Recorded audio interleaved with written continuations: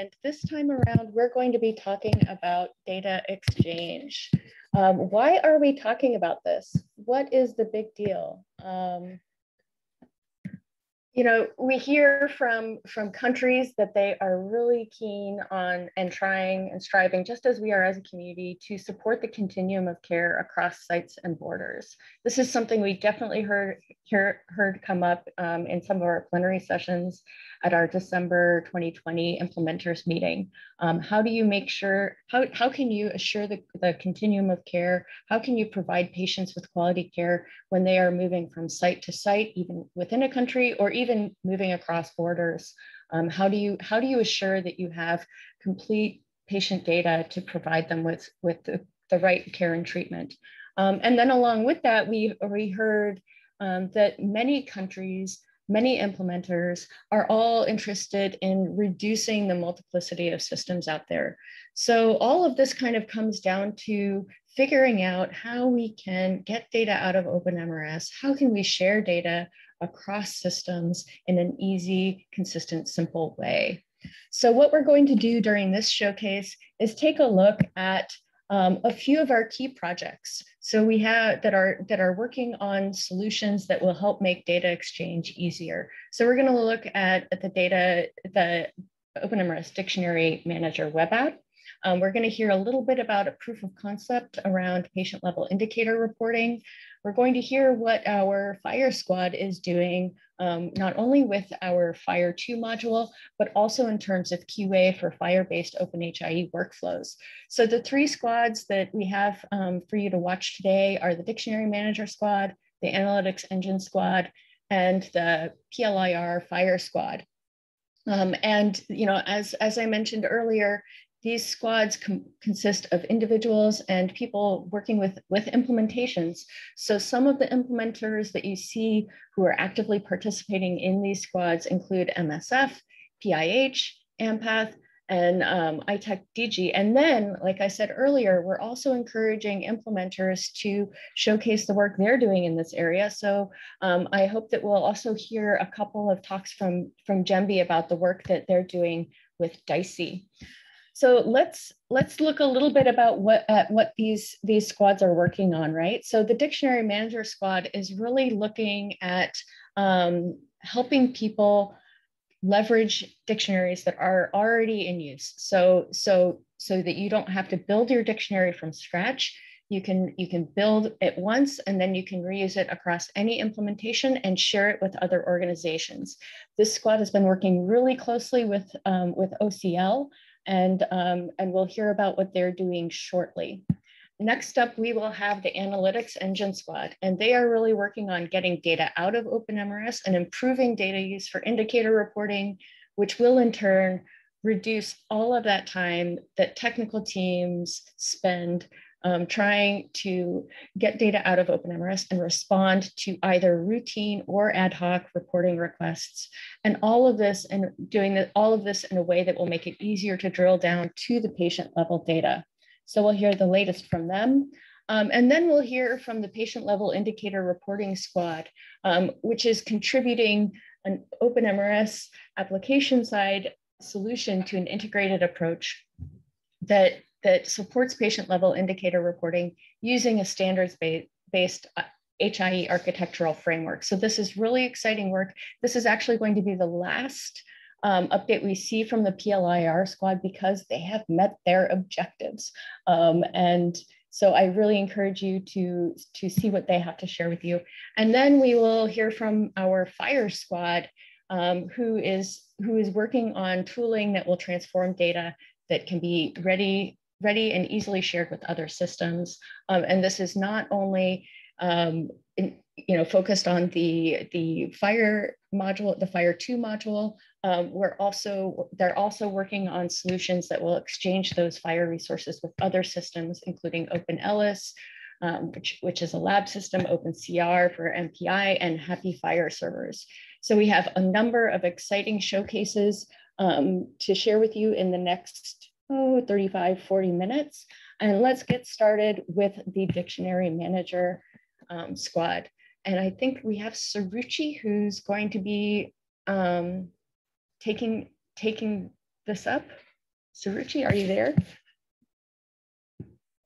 She is here, but actually, um, just in case we have internet problems, I'm going to go ahead and share the pre-recording.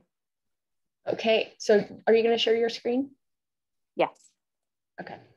And uh, please let me know um, if at any point the audio or visual starts lagging. All right.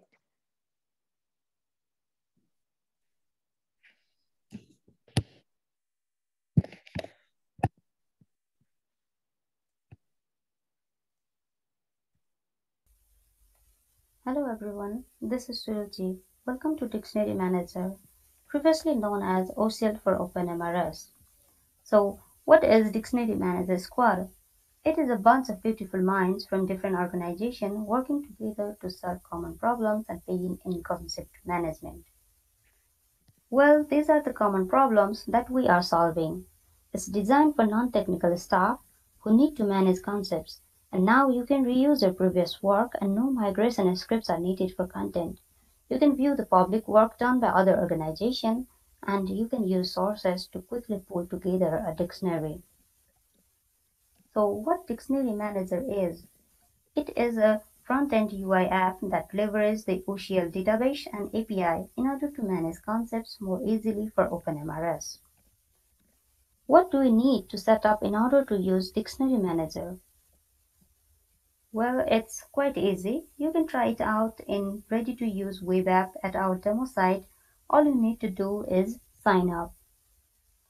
You must be thinking, what if I'm using a different system?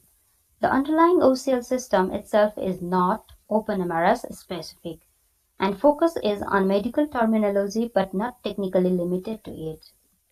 Concepts managed in Dictionary Manager are updated in OCL itself, which means if we choose to switch away from OpenMRS, the concepts are still available in OCL. Now let's quickly view our roadmap.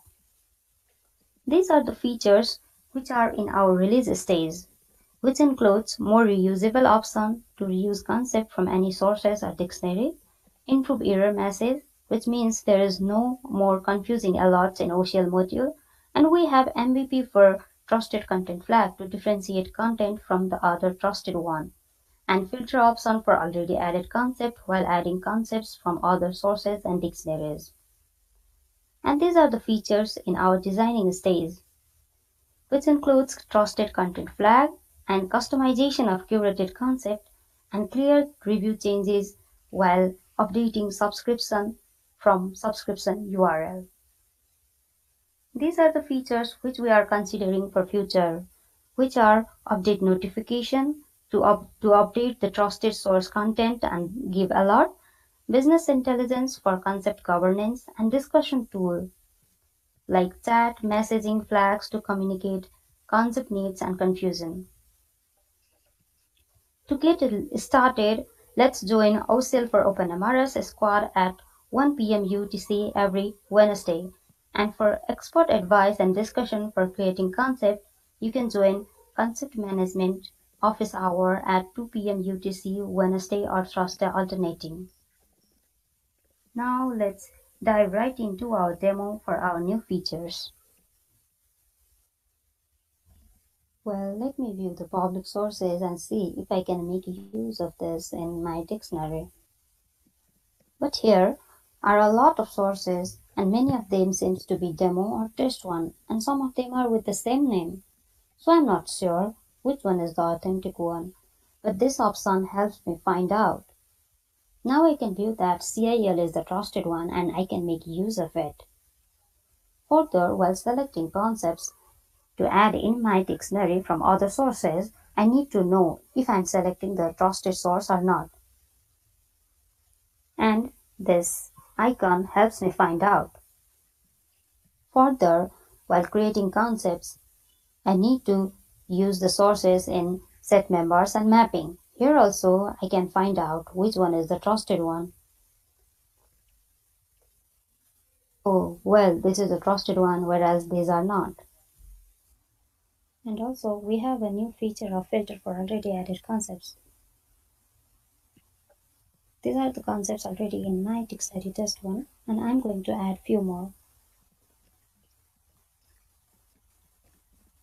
Now I have this feature of uh, include added concepts and this will help me filter out.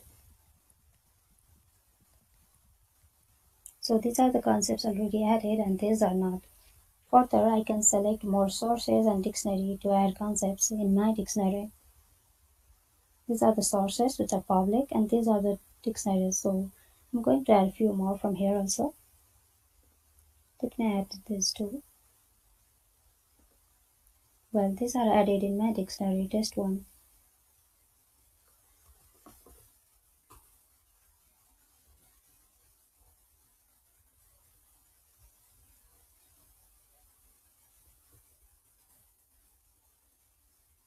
Well, this is added. Thank you. Thanks so much for that, Suruchi. It's it's really exciting to see how much faster it is to pull dictionaries together. I know not too long ago we had some of our folks uh, from ORI putting together dictionary content, and and they needed to be able to pull in uh, concepts they'd already added into a dictionary and be able to reuse those across additional dictionaries. And these features make all that possible. So th thanks so much to the squad for your work.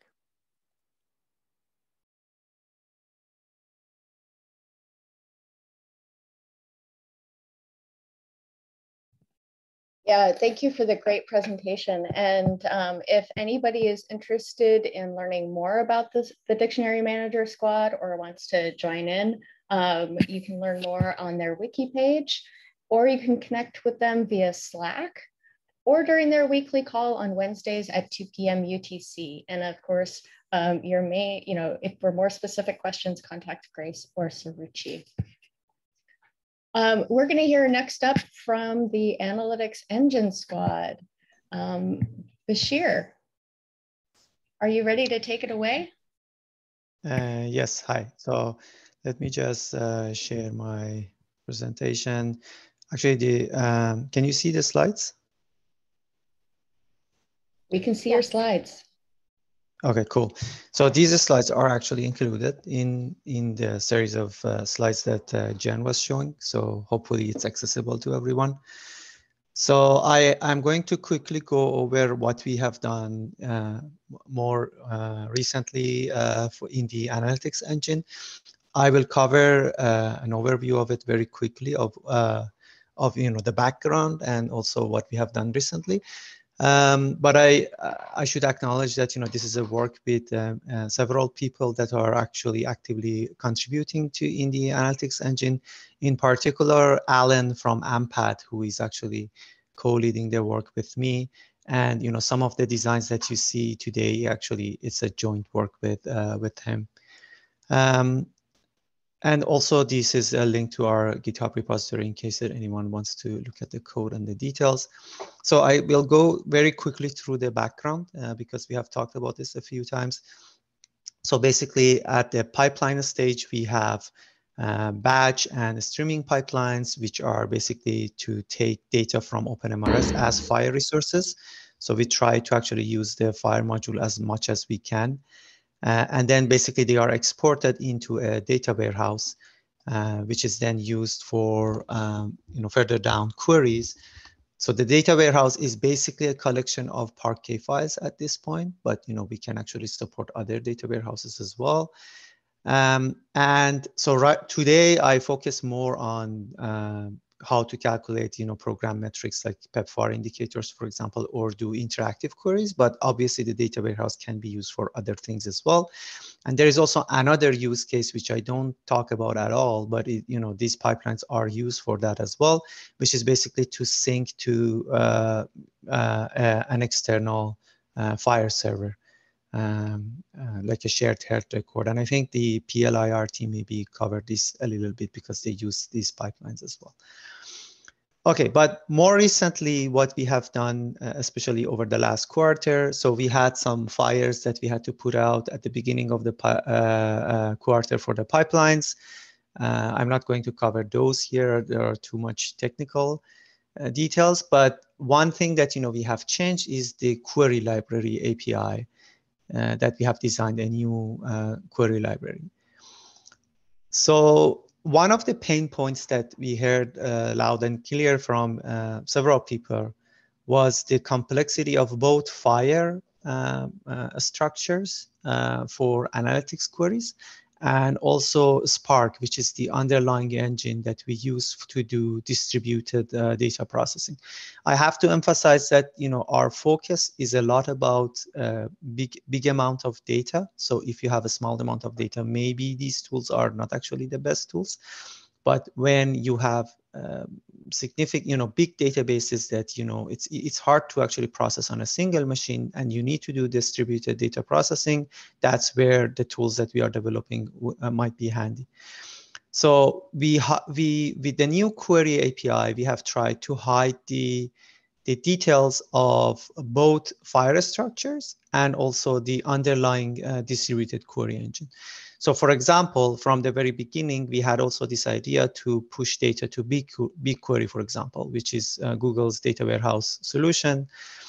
And with the, with the new query API, this detail is completely hidden from the user. So whether the underlying data are Parquet files on the disk or whether they are in BigQuery uh, should be hidden from the user.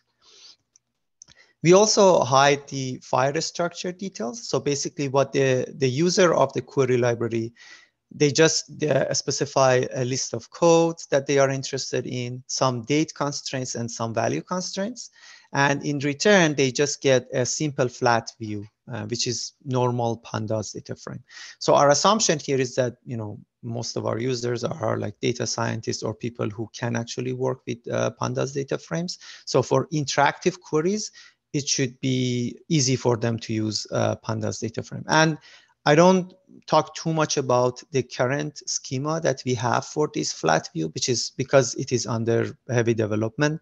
So from week to week, we change that based on the uh, needs that we have. Alan is uh, hard at work implementing more and more uh, PEPFAR indicators. And then, you know, based on those needs, we may change this uh, schema. But this is a sample that you can see. It's just like a, um, uh, a pandas data frame that they have taken from a Jupyter notebook that I use for testing. So basically we have some patient information and then each row we have some aggregate values for, for a code, for, for an observation code, like, you know, how many how many observations uh, in, in the query period was there, what are the minimum value, maximum values, and the dates for those minimum and maximum, and so on. So let me actually, yeah, I just want to emphasize again here that um, for, for the user, for a general user of the query library, the idea is that no FHIR or a Spark knowledge should be required. So basically, they should be able to use our tools without knowing at all about FHIR Spark. Obviously, you know, we have chosen FHIR because it's a standard and we can actually work beyond just OpenMRS. So it's actually uh, a, query, uh, uh, the analytics engine can be used for, hopefully at some point, for any FHIR server, not just OpenMRS. So that's the nice thing about working with the standard. And obviously Spark is also a standard, um, you know, distributed environment but the user of the API, uh, query API, doesn't need to know these kind of uh, details. So I'll go quickly over a simple example, uh, which is, you know, I have put the Jupyter Notebook link here. This is from the same GitHub repo. People can look at look at it and um, actually play with it if they uh, uh, in, in, their uh, own environment. So this is how we create a patient uh, query object, which is the main object to uh, query the, uh, the data. Uh, so in this case, we are specifying a base di uh, directory for the Parquet files. And we say that, you know, okay, create a, um, a patient um, query object that uses Spark and the files are here and I want to work in this code system. So this is the only place that people need to say something about a Spark or BigQuery or something else. So if their data is in BigQuery, for example, they just say my runner is, is BigQuery, and then instead of providing a base directory, they provide a, a data set for BigQuery. Or in future, we may even support a basic FHIR server as well. So people don't even need to export their data to uh, through the pipelines to be able to use this. Then for um, the, the second step is basically to specify what uh, the user is looking for. And here is just one example. These uh, codes are, you know, fake codes from the demo data because that's all I have. But uh, for example, when Alan runs on AMPATH data, he uses you know real codes for what uh, we are looking for. But let's say let's say this code is for viral load for example this uh, the first one. And then i can say um, i am looking for viral load in this time frame and i am looking for arv plan for this time frame. And you and we can also say that you know also include all other codes as well uh, in this time frame. And you know there are other other features as well that I haven't shown here. You can specify the values that you're interested in and so on. The idea here is that I may want some a longer range for some codes, and then I I may need uh, like a, let's let's say last month or last quarter for all other codes basically. So when I specify these requirements, I create I, I create an aggregate uh, pandas data frame from my query uh, patient query object. So that's basically the, the highlighted part is, is, is basically doing that. So what it does under the hood, it reads all Parquet files and then does the flattening and calculate the aggregates. And next, um, because this is a, a, normal pandas data frame, I can do all the nice things that I am used to do with my pandas data frame. Here I am just taking uh, one specific code and I'm looking for those cases that the, they have at least two, um, two observations so that you know minimum date and maximum date are different. And then I am doing a projection on the columns that I am interested in. So that's what I get. And finally, um, the, the, the, the, thing that you know we are building on top of this is that is the indicator uh, library, which is basically implementation of the PEPFAR uh, uh, indicators, but that's pure uh, pandas uh, operations. So there is um, there is no uh, Spark operations in, in that library. so I, I think I can finish with that. And sorry that you know I, I went over time a little bit and here, you know, there are some of the contributors to, to the work. There are other people who are not included here as well. Thank you. Thanks, Bashir. And yeah, as with the Dictionary Manager Squad, you can find out more on the Analytics Engine Squad wiki page um, or connect with them via Slack or join their weekly meetings Thursdays at 2 p.m. UTC. So moving right along, um, next up we have Cliff, who will share um, what's happening with the PLIR squad. Yes, uh, hello everyone. Basically, uh, the PLIR squad um, is about um, fetching uh, patient level data from um, OpenMRS to a shared uh, uh, to a HAPI FHIR server through uh, an OpenHIM through uh, OpenHIM. So basically that's what uh, it's all about. And then doing uh, indicator uh, calculations. So uh, some of the milestones and uh, achievements that we've had, uh, we've been able to develop um, um, TX PVLS and TX indicators for as, as part of the POC. And then we also build the, the capacity for reading FHIR measure resources for the two indicators and then uh, we also integrated um, the automation testing into uh, the HIE automation framework for uh, PLIR. And then uh, being able to build uh, a CI pipeline uh, using GitHub Actions for the for the automation testing. And then uh, we also have a Dockerized setup ready for this proof of concept. Yeah, next slide. So, oh, sorry to the next one, then we shall come back to this one.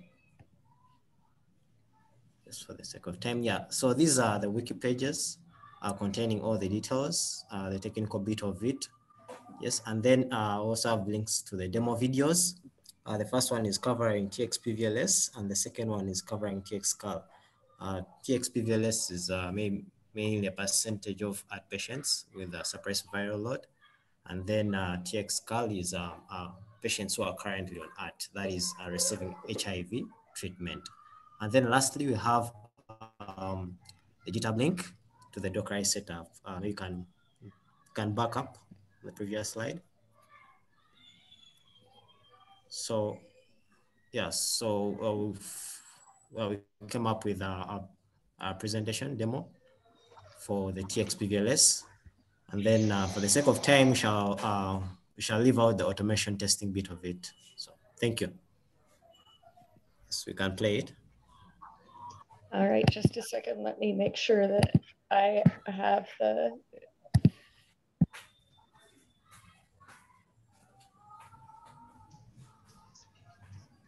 sound being shared. Okay.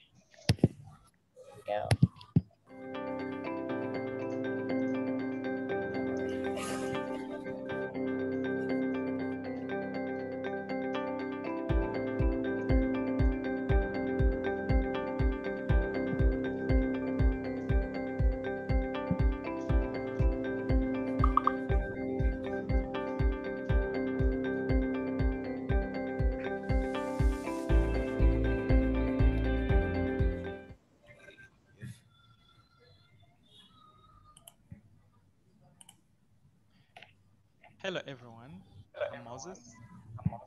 Demonstrating about the PLIR pipeline, which contributes to an integrated approach that supports patient-level reporting using a standards-based HIE architecture framework. And this is a proof of concept which supports the calculation of the TXPVLS indicator, which indicator represents the percentage of ART patients with a suppressed viral load that is results less than thousand copies. This is my open MRS instance, which is the data source. This is my OpenHIM instance, which is going to act as the middleware component to track all the requests and transactions. And this is my HAPI FHIR server, which is the shared health record to store all the patient level data in FHIR format. And this is a simple widget to visualize the measure report from HAPI FHIR. I'm also running a Debezium string pipeline, which will listen to all data that is added into OpenMRS and push it to HAPI FHIR through OpenHIM. Trying to query HAPI FHIR. So make sure I have no any patient.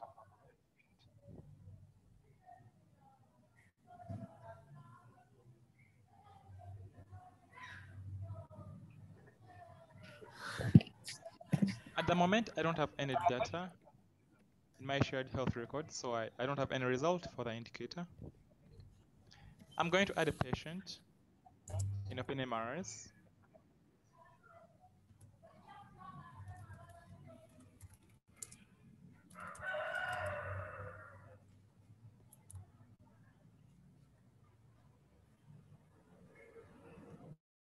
And I'll skip the other values, not relevant for this part.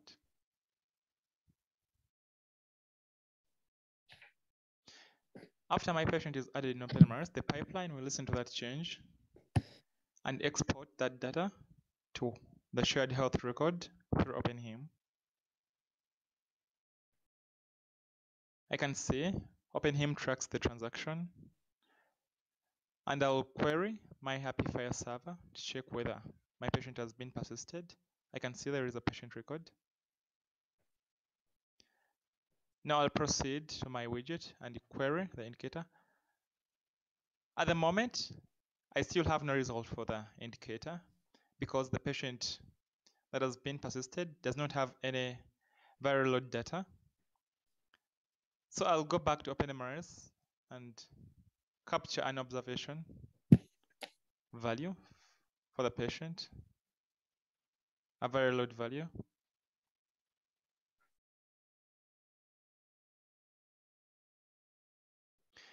I'll give it, I'll give him a, a suppressed value, which is less than a thousand.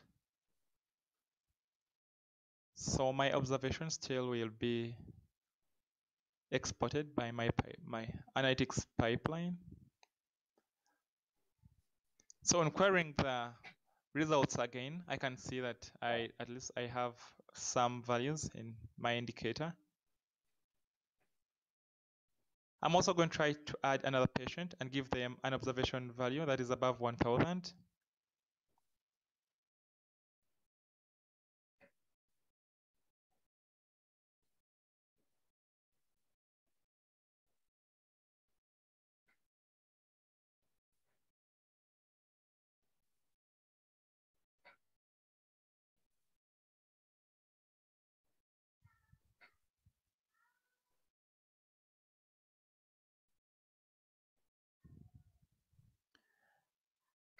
I'll give the patient a viral load above 1000. And I go back to my widget to query updated results.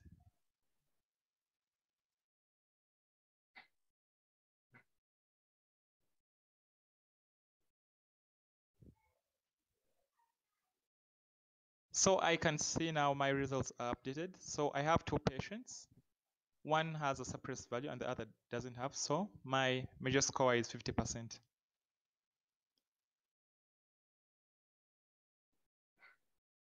And the HAPI, uh, our HAPI FHIR supports collect data operation, which generates all the relevant data set for the TXPVLs indicator. So I can also query directly to get all the data that is relevant for the, for the indicator. So the widget can export uh, the JSON data for, for the measure report.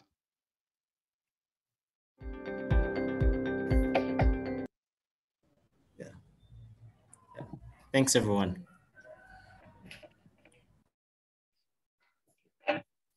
Thanks, thanks, Cliff. And um, um, I'm just going to move on to, uh, before we move on to the FHIR squad, um, and I'm giving you a sneak preview, um, I just want to highlight the fact that you know this work really drew from both the what the analytics engine squad was working on and what the FHIR squad was working on and i also do actually want to um, say a special thank you to Digital Square for their support for this work. Um, Moses and Cliff are two of our first fellows and Digital Square's um, funding actually helped us support, support them in this effort. So um, thank you, Cliff, thank you, Moses, and thank you, Digital Square. Um, moving on, our next showcase is from the FHIR Squad. And I think actually, Moses, I'm turning it over to you. Uh, thanks, Jen. Can I share my screen? Go for it.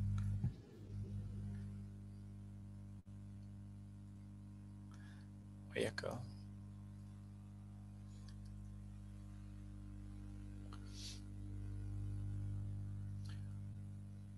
Um,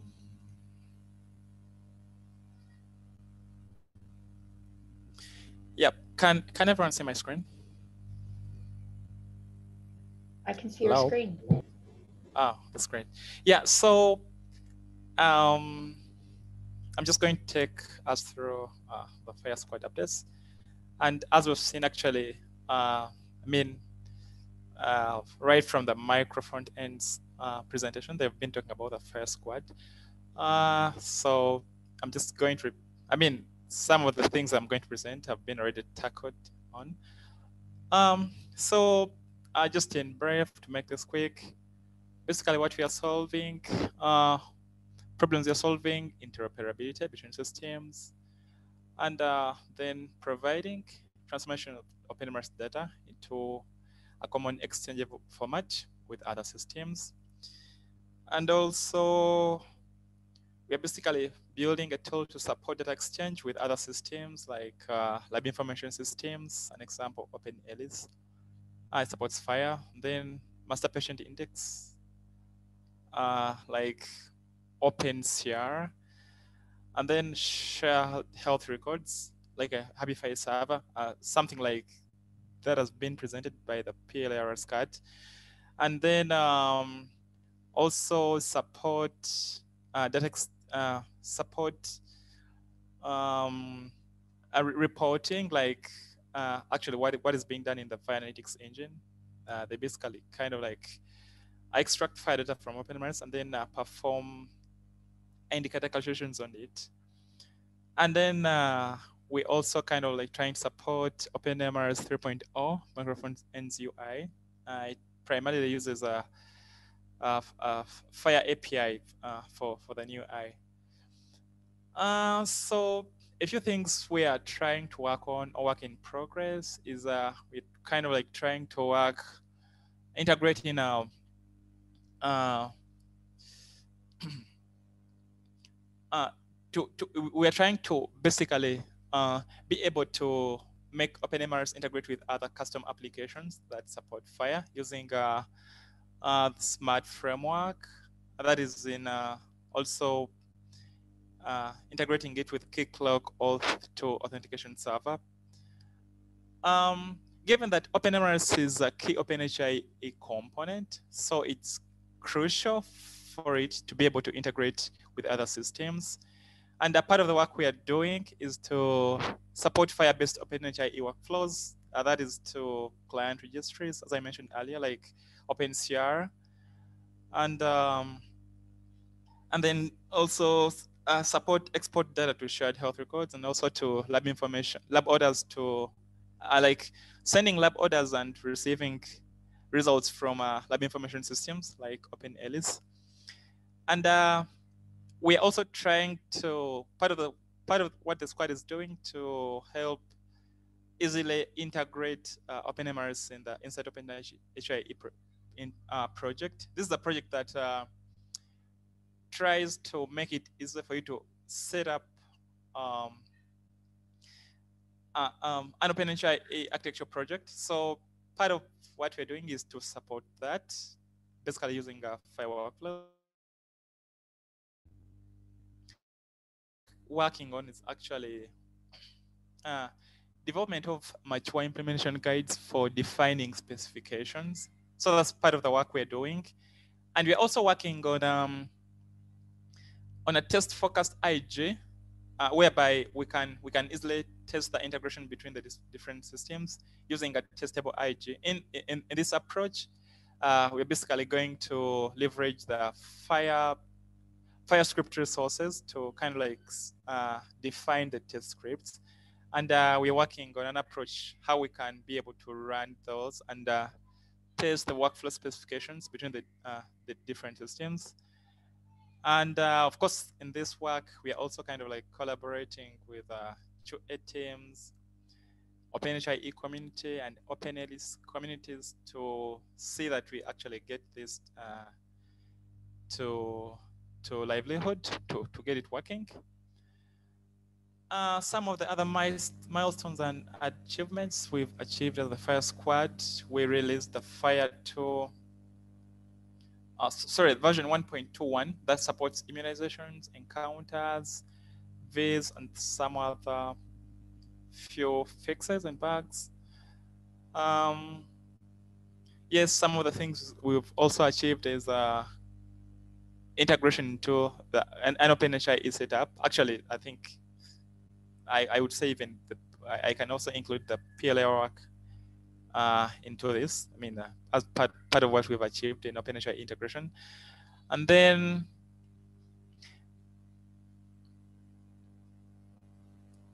Yeah, so we've also collaborated with uh, PLIR and Firenatic Squad. Uh, I mean, those, those are part of the projects and uh, tools that have been uh, uh using the FHIR API and uh, using FHIR data. And so uh, part of the upcoming features is also we need to, we are working to working on to support patch operations in the FHIR2 module. That is, you can be able to easily update resources without kind of like sending the entire resource. I mean, you simply update a given portion of the resource without sending the entire resource. So th th that was just a brief squad update on what we are kind of like uh, trying to work on. And um, yeah, we're seeking implementers interested in leveraging FHIR2 to solve integration problems. Pro probably could get feedback from implementers. And uh, we also need more devs. And uh, thanks to our to the FHIR team, uh, our tech leads, Ian Bacher, and Christina White, and then the other members, including Bet from Ampath, Pieter from UWASH, myself, Cliff, yep, and uh, rest of the members that have done great work to to to get this squad moving forward. Thank you. Thank you, Moses. And once again, anybody is welcome to connect with the FHIR Squad or join them either on Slack or during their weekly call Tuesdays at 3 p.m. UTC. All and any are welcome. Um, we're now going to move into our implementer showcase section of this um, data exchange showcase. And I'd like to invite Ryan from Jembi to, um, to share with us, he, you're going to do a presentation or lightning talk on um, DISI requirements and DICEY architecture, I believe. So if you're ready to go, I can hand the controls over to you. Thanks very much. Hi, everybody. This is Ryan here from Jembi. Um, let me just get my screen shared and then we can kick it off. Give me one second.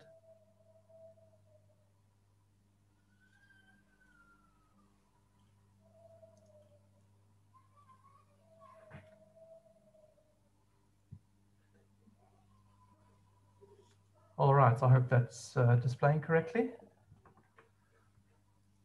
Um, Great. So uh, what I'm going to talk about today is uh, the DISI architecture work that uh, has been involved with.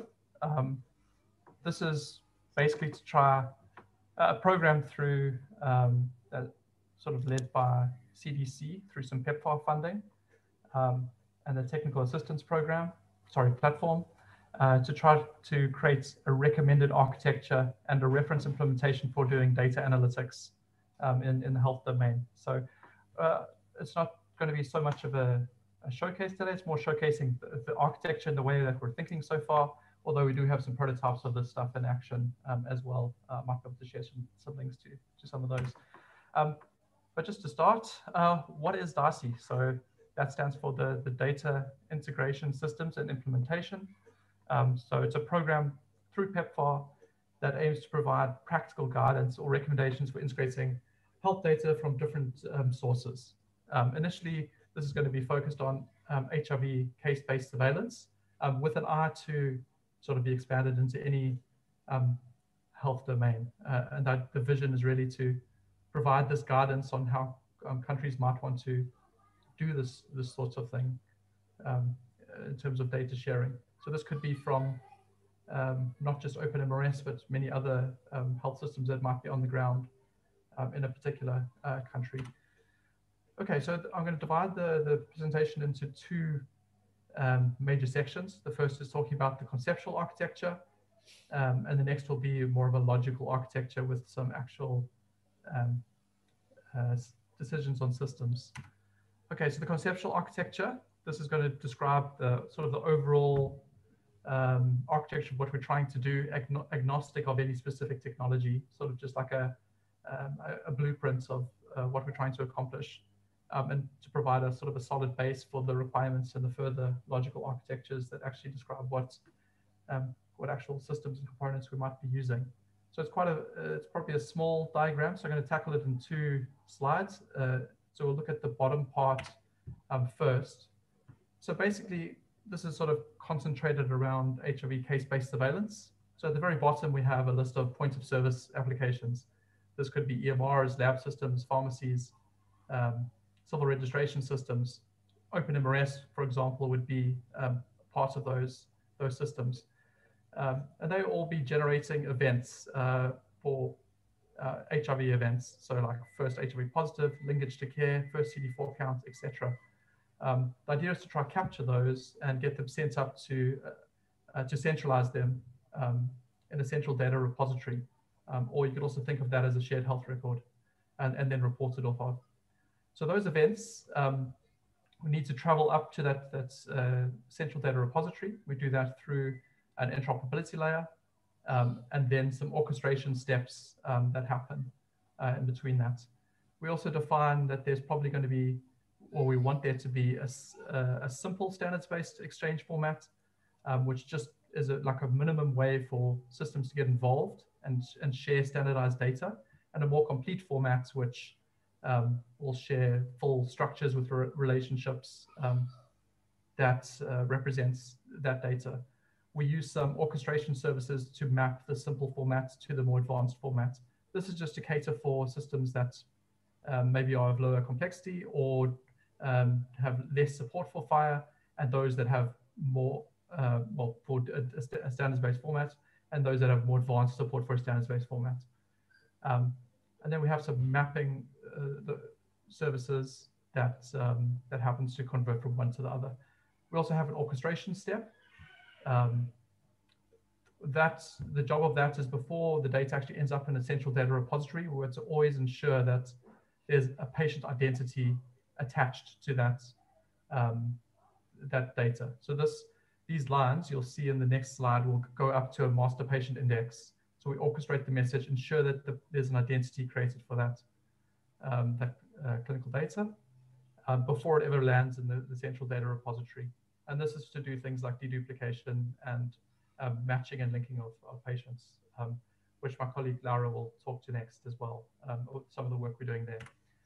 So from there, um, the data ends up in a central data repository.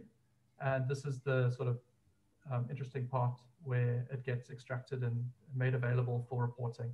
So we just uh, describe, um, or at least conceptually, a streaming data pipeline that takes the data as it arrives in the central data repository and processes through um, this data pipeline doing things like um, de-identification, masking of particular um, information, and most importantly, transformations of the data, flattening of the data, joining um, the data together in, into a, a, structure that makes more sense for reporting off of uh, before it lands in a data a data mart, uh, which is a, another store that we then use for reporting off of.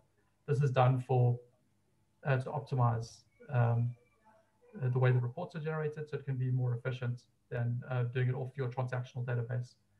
Uh, and then the visualization tools will work off of that. Okay, so enough of the conceptual. Let's jump into what we're looking at at the moment. So this will be the logical um, architecture. This is work in progress. This is the current approach we're looking at. Um, there may be a few others. I'm actually very interested to see what the um, analytics engine team is, is doing as well. Um, I think our, the architecture conceptually is quite similar. So um, but logically, we're using different technologies, so interesting to catch up there. Um, so one of the first things that we wanted to, to nail down in the conceptual, moving from conceptual to logical, is the data format. So obviously, FHIR makes the most sense here. We also want to use HAPI FHIR as the central data um, repository or shared health record. Um, the way we're using FHIR, I'll go through this only briefly, is basically to take a minimum data set and try to get that converted into a FHIR implementation guide an implementation guide might contain um, the structures of the different resources that we might be using and the structure and also some questionnaire response resources, um, which will be, it's basically like a simpler way to send data in that's more like sitting in a form rather than a, a group of resources. That will be our simple format, whereas the FHIR, the bundle of all the other FHIR resources and references between them are going to be the more complete formats that I spoke about before. And that's then fed into the, the development pipelines for the point of service systems, as well as the, the CDR and the data pipeline uh, development and report development uh, teams. Next, for actually getting the data out of the, the EMRs or from OpenMRS and uh, into the uh, into HAPI FHIR, um, here we're going to be using the OpenHIM and mediators for that, um, for transaction mediation. So we have for example, the FHIR uh, questionnaire responses going up through the OpenHIM, um, being converted uh, into a FHIR bundle using an SDC extract operation. So this is a, a standard way in um, the FHIR SDC uh, implementation guide to, to, convert questionnaire responses into a full, full-blown FHIR bundle, but I won't go into the details of that today. Um, and then once it's in the FHIR bundle format, um, that's when we can we have it sort of have it in its canonical form and it can then be orchestrated. Uh, so we then do make sure that identity exists before that bundle, that full bundle of clinical data is stored into HAPI FHIR. So then you sort of end up with this longitudinal record for patients within HAPI FHIR um, for other systems to consume or for the, the data pipeline to consume. Um, and within what we're doing in DICE, OpenMRS is actually going to be used as the reference EMR system um, through the, the, um, the ORA a system that you might have uh, heard of uh, that's being developed. All right, so the, the interesting parts, I think, um, is the data pipeline. So for this, we're using the Elastic Stack. Um, the choice of, the, of using the Elastic Stack was um, one ease of use um, for the end user.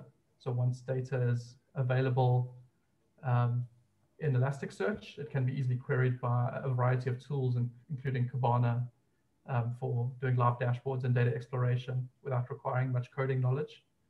Um, it, the Elasticsearch consists of a few different tools. So we're using here Logstash in the middle for doing actual data transformations.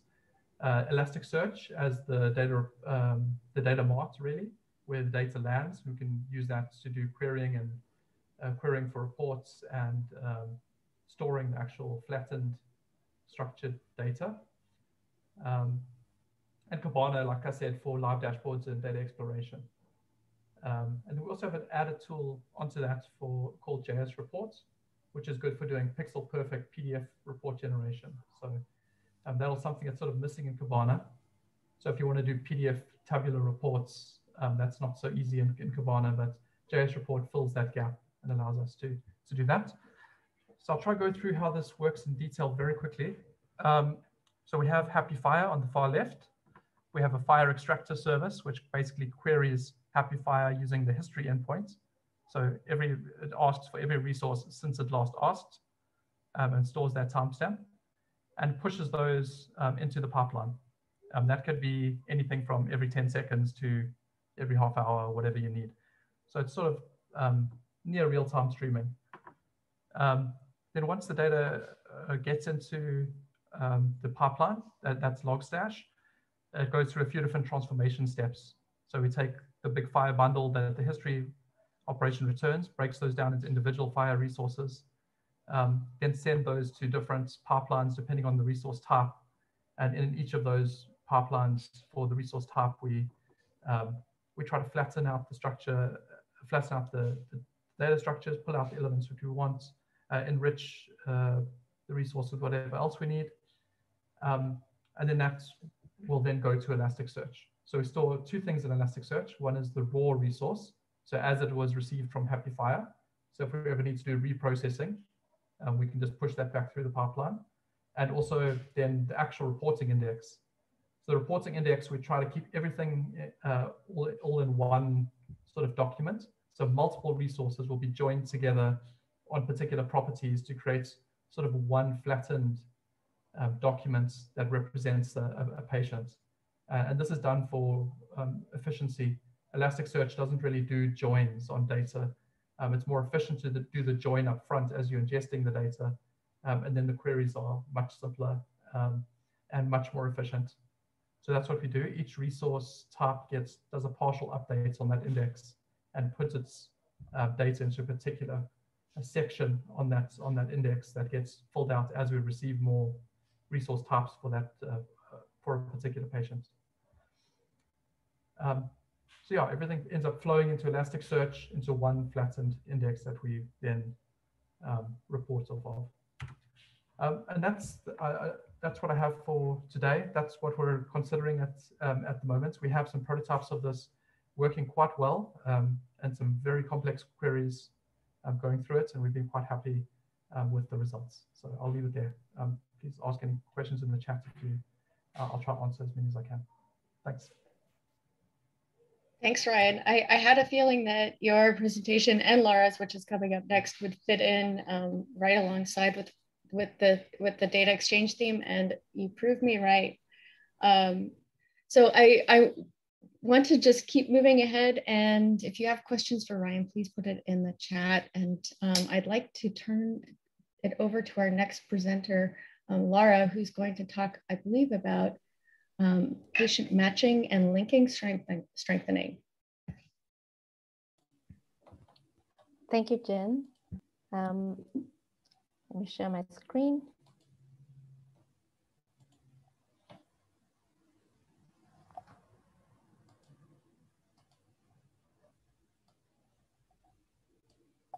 Okay, great. So I'm going to speak about patient matching. And this will be in the context of research and implementation of patient matching for different scenarios. So I'm not going to talk about uh, right now how something like OpenCR or SanteMPI can be used or other tools.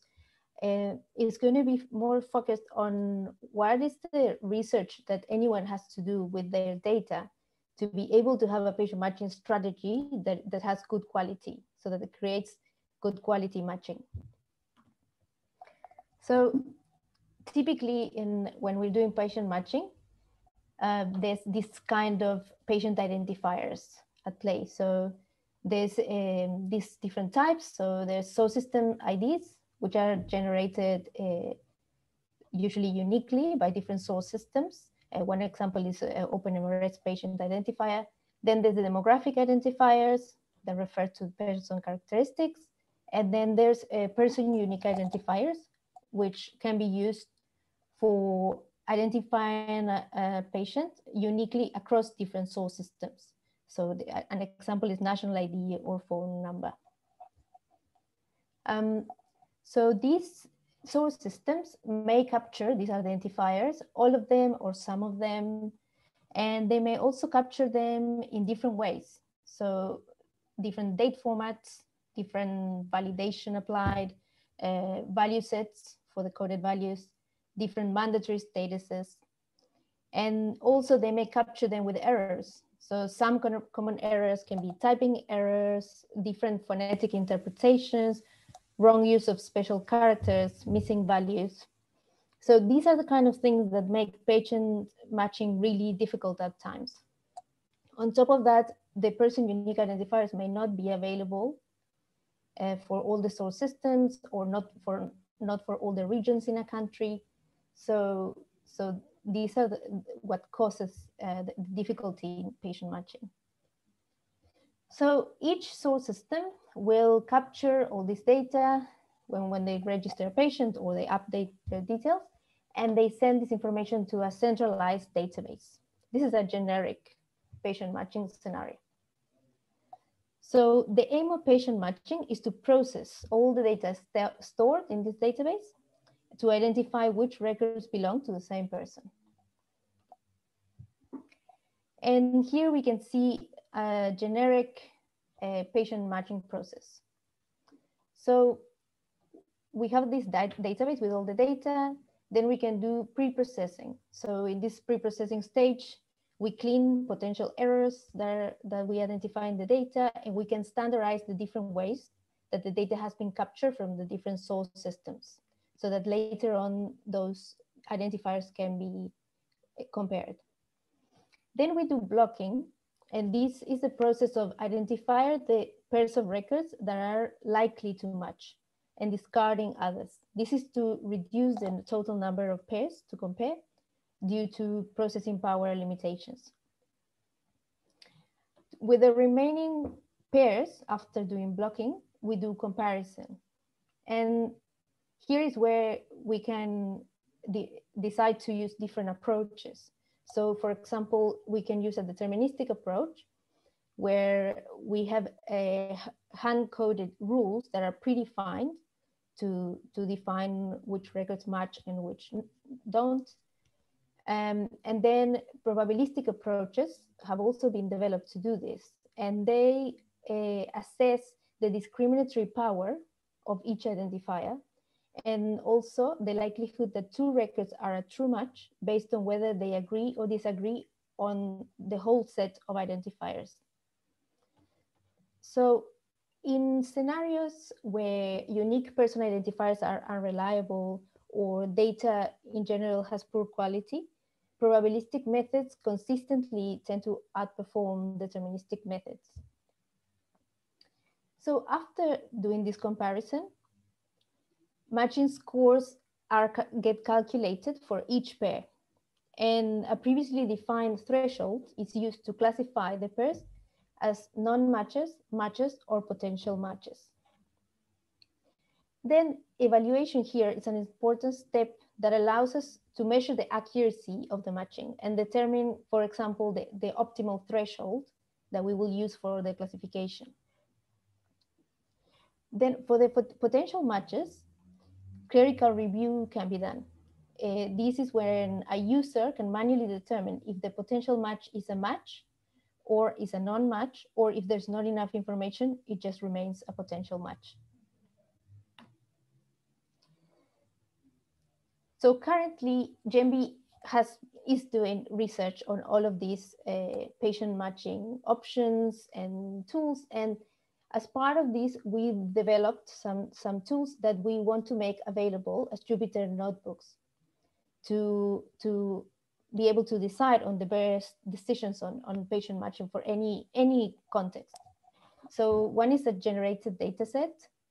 Um, so where you can choose how many records to generate, you can corrupt the records and generate duplicates, add frequency distribution for names, cities, etc. Another tool is uh, one to test different blocking strategies. So you can uh, choose which fields to compare and which algorithms to use and visualize results to make decisions. Then test probabilistic comparison approaches. So for this, we use Splink and FastLink as the tools. And this is, these are based on the Fellegi-Sunter algorithm. And one uh, important characteristic of the tool Splink is that you, it can be used in a multi-server architecture, so it in a cluster server architecture. So on top of all of this, of course, this, there will be a lot of documentation on to help decide, make the right decisions and assess the, the performance of the, of the matching. Thank you. Thank you so much. Um, you know, I know that we went a little bit over time, but I think all of these presentations, all of these showcases and, and demos um, are just fantastic to watch and, and great to learn um, how, how different groups are actually approaching very similar problems. Um, and hopefully it looks like from the chat, there's some, some potential conversations to have moving forward. Um, so let's let's make sure that everybody can, can connect. Um, if you need any help connecting with any groups, um, let let myself know or Christine know, um, and we can we can hook you up with the right right people. Um,